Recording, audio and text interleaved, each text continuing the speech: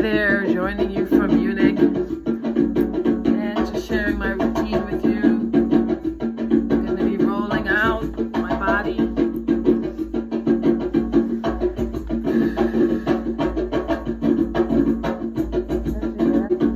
If you're a dancer, lifting weights, heavy weights might not be the answer. The thing you want to do is to tone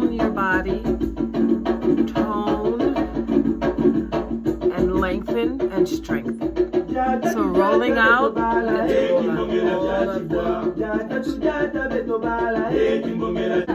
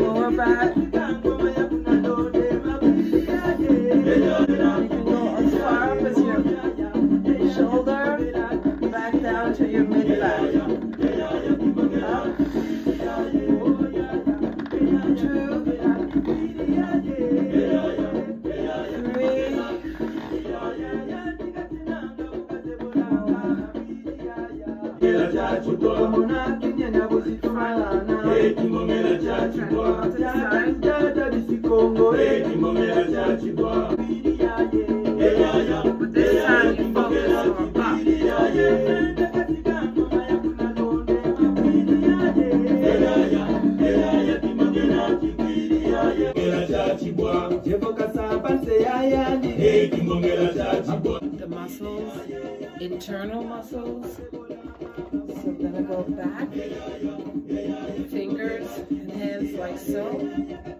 Squeeze the stomach, the thighs, stomach, the thighs, the gluteals, the anal, vaginal.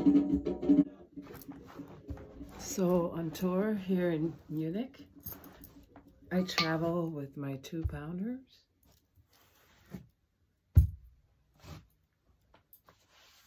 I travel with my roller. And stretch, stretch bands. So these are my tools on the road. As a dancer, I need strength. I need flexibility. Um, I don't need to be bulked up. And um, I actually learned that from my coach and uh, trainer, Exodus, Larry Bennigan. He really gave me some good tips. Always in a good workout, your plank is important. So you need plank. Always on tour, I have two pounders with me. So I can do something